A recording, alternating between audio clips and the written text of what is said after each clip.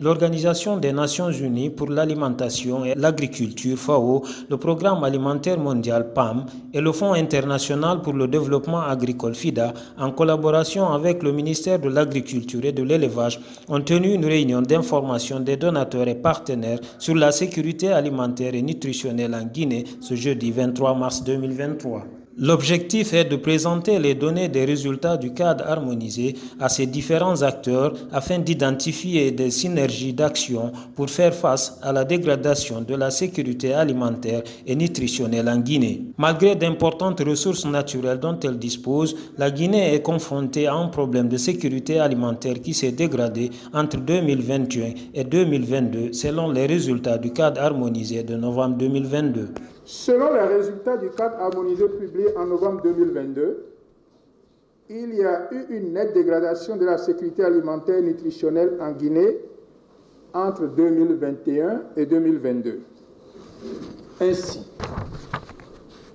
2 334 622 Guinéens, soit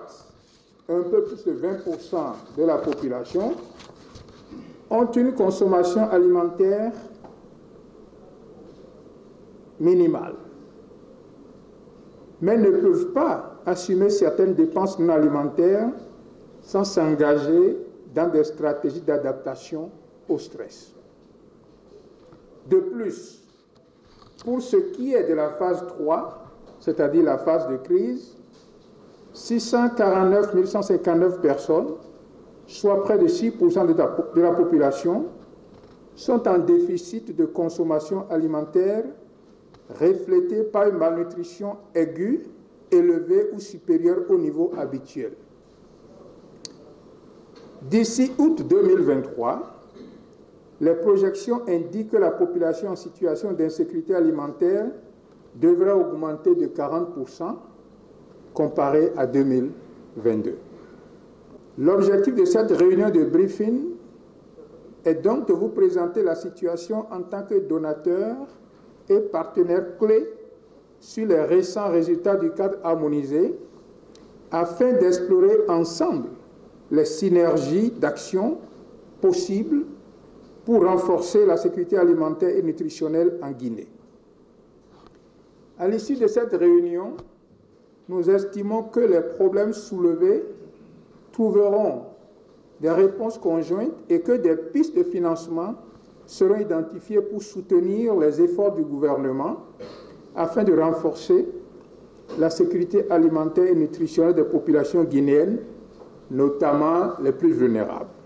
Abondant dans le même sens, Dr Mamadou Tanou Diallo, assistant du représentant de la FAO chargé du programme, demande plus d'efforts aux partenaires pour aider la population guinéenne. La population guinéenne a besoin de plus d'efforts, de plus de conjugaison d'axes et d'approches, de stratégies et même de politique pour parvenir à s'en sortir de cette situation préoccupante.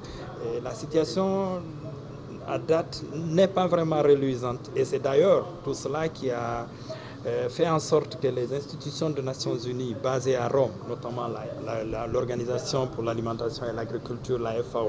et le Programme alimentaire mondial et le Fonds international pour le développement de l'agriculture, le FIDA, en collaboration avec le ministère de l'Agriculture, ont entrepris cette euh, table ronde, donc euh, ce cadre d'échange, pour vulgariser les données du cadre harmonisé et interpeller l'ensemble des parties prenantes, l'ensemble des acteurs à plus d'actions concrètes pour juguler le phénomène de la sécurité alimentaire et toucher du doigt l'ensemble des populations victimes et même en vulnérabilité d'être victime dans les prochaines séances. Venu représenter son ministre à cette réunion, Jean-Luc Faber, conseiller principal du ministre de l'Agriculture et de l'Élevage, a rappelé que la mission des autorités guinéennes est de faciliter l'accès aux populations à une nourriture de qualité. Notre objectif euh, est d'améliorer la sécurité alimentaire et nutritionnelle des populations, qu'elles soient en capacité d'avoir accès à la nourriture disponible de qualité saine, équilibrée, de manière constante et qu'ils puissent l'utiliser régulièrement, je dirais à tout moment. Et si cela ne l'est pas, ça devrait nous interpeller non seulement à revoir nos façons de travailler, mais également à redéfinir encore l'approche que nous mettons en place aujourd'hui pour que les populations aient accès à la nourriture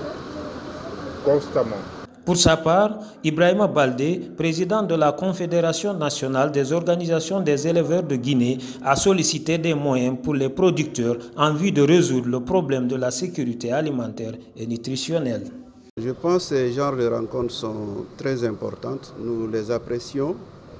Euh, leur utilité aussi, c'est de permettre d'avoir en face euh, non seulement l'État et les bailleurs, pour pouvoir de discuter autour de la problématique de la sécurité alimentaire, qui est quelque chose de très important, de se questionner, de voir pourquoi ça ne marche pas, de, voir pourquoi ça ne marche pas, de demander aux bailleurs aussi d'appuyer plus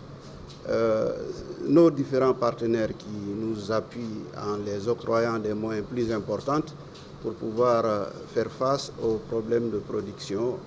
euh, pour résoudre la sécurité alimentaire. Parce que comme vous le savez, qui dit sécurité alimentaire dit production, d'augmenter la productivité. Et pour augmenter la productivité, il faut aller dans les champs, il faut aller dans les fermes. Et il faut essayer d'appuyer mieux encore les